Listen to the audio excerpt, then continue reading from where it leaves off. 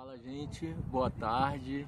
É, hoje para mim mais do que especial, é uma experiência que eu estou tendo muito especial porque a caminho vindo para subir onde eu estou agora, eu encontrei um guerreiro, um cara que superou seus limites e conseguiu subir e chegar aqui, tá aqui atrás de mim, que é o Anderson. Pô, é, é um prazer estar tá aqui do seu lado, sabendo da, da sua situação, né, Anderson? Fala um pouco de qual foi o seu propósito de hoje para chegar aqui. É, hoje eu, hoje eu, eu subi com, a, com a, uma vontade de vencer né, a,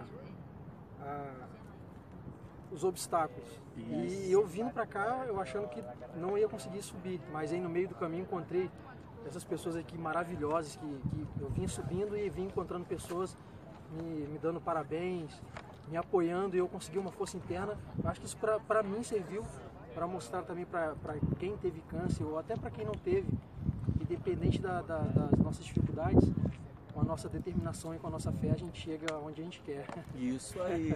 É, para quem não sabe, o Anderson teve um câncer nos ossos. Ele tem uma prótese que ele me mostrou, que eu fiquei até assustado. Eu falei, cara, mas ele teve esse propósito de hoje subir aqui o, o Morro dos Irmãos aqui no Vidigal e conseguiu tá, tá com as filhas aqui curtindo um pouquinho essa natureza maravilhosa. E para mim está sendo muito especial para vivenciar essa, esse propósito dele.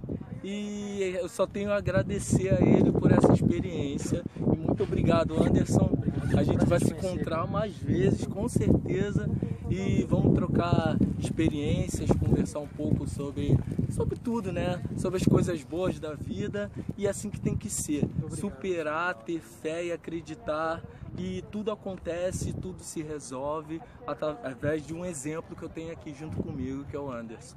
Obrigado. Valeu, daqui a pouco eu volto com mais um vídeo. Tchau, tchau. 50 reais e fui.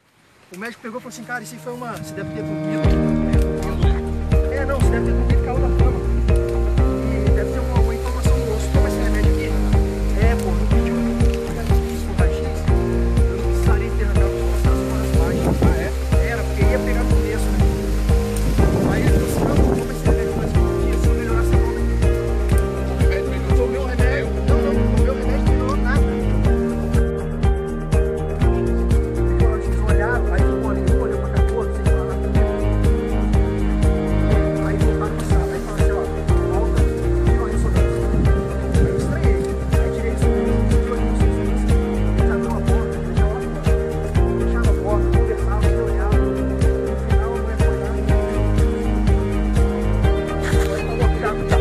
Eu caio.